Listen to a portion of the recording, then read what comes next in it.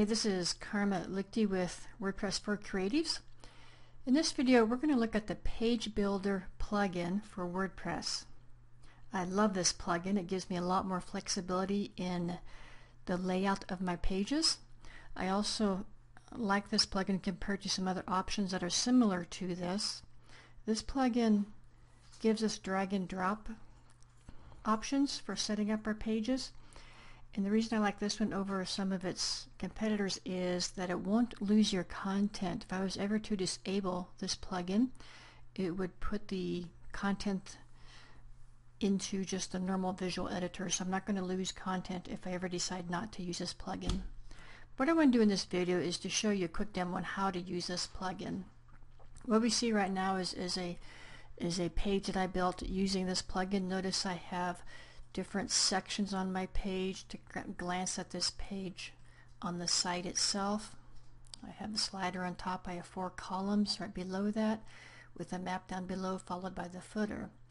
Now if we glance at this layout and compare it quickly to this page setup, you'll notice the, the, uh, the slider across the top with the four columns and then the and then the, uh, the map below that. So that's just a quick example of what this, this plugin lets me do. Now I'm going to go into how this page was created. Before I do that, this is a freebie plugin available on the WordPress.org site called Page Builder by SiteOrigin. They also have a great site of their own. They're very responsive, responsive to as far as questions. They have a um, great document on how to use this plugin.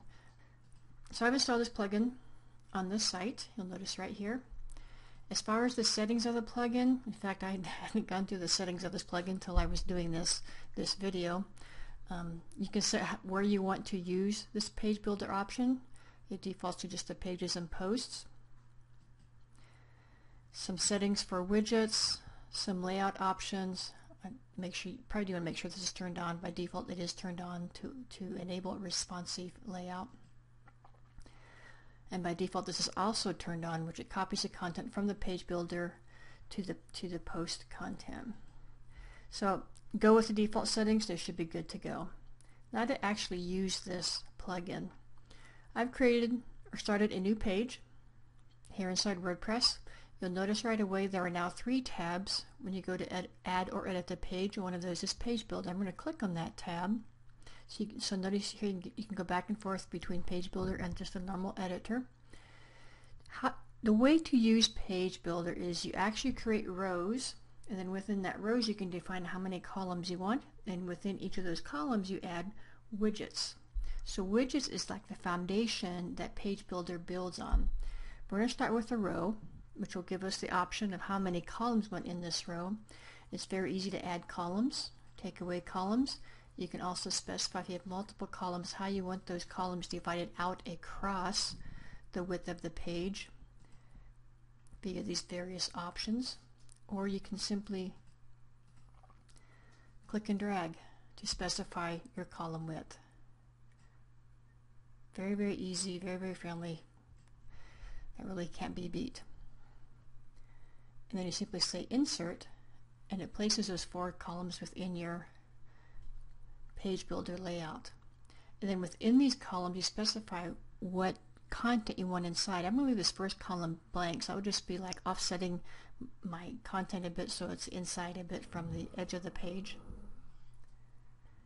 And then within, within each of these columns you click on it to highlight it then you click on add widget. That opens up a window of lists all the widgets that come with WordPress, widgets that are installed with the SiteOrigin who made this plugin, and any theme widgets that, that you might have available as well. You can simply click and drag these different options in there. So for just a, a quick example, let's say I'm going to add the visual editor in that one. And this one I'll add a widget to, I'll just do a social media widget. Then you can edit these widgets to bring in the content you want or to format the content or to specify the content you want. So this particular one I'll bring in an image.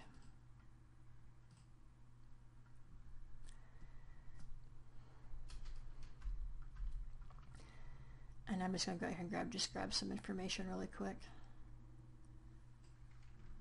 for demo purposes.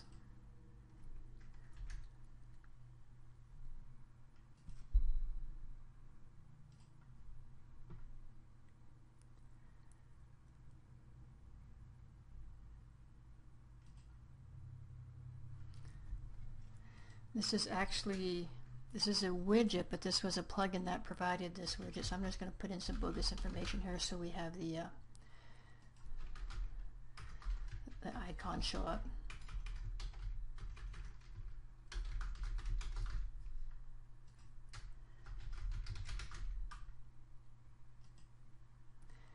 Then I could add some more rows. Say in this row I just wanted one column that goes all the way across. Whoops. And I'm going to add one more row that maybe just has two even columns.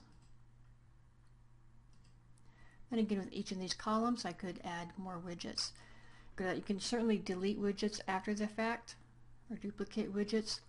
You can also edit rows if I want to change, for example, I've had on this bottom one, I have one column across the entire row. Just click on edit. You can change a number of columns in that row. You can also duplicate a row I'm going to change this back to one column just to give us some, vari some variety. You can also move rows above or below other rows. So it gives you a lot of flexibility in laying out a page. Let's go to a page that I already completed. This is the page that we first saw. I simply added three rows, specified the number of columns I wanted in each row, then added the content via using widgets. And that gives us this page where this is our first row, which is a slider all the way across the top. Here's our four columns.